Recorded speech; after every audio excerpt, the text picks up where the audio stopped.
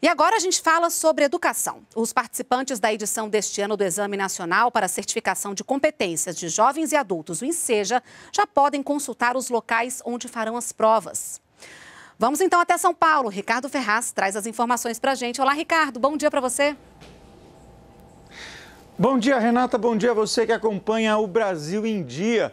O ensejo acontece no dia 25 de agosto, mas os participantes já podem consultar os locais da prova.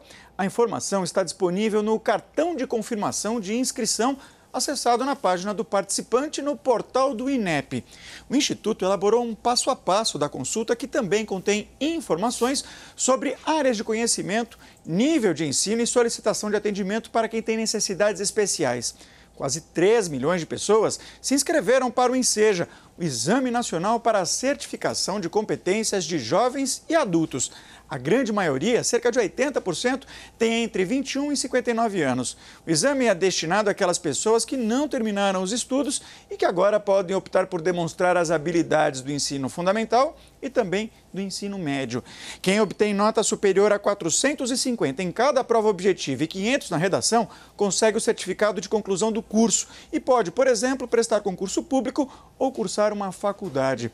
As informações estão no site inep.gov.br barra Inseja. É uma segunda chance importante para quem quer retomar os estudos e avançar na carreira, Renata.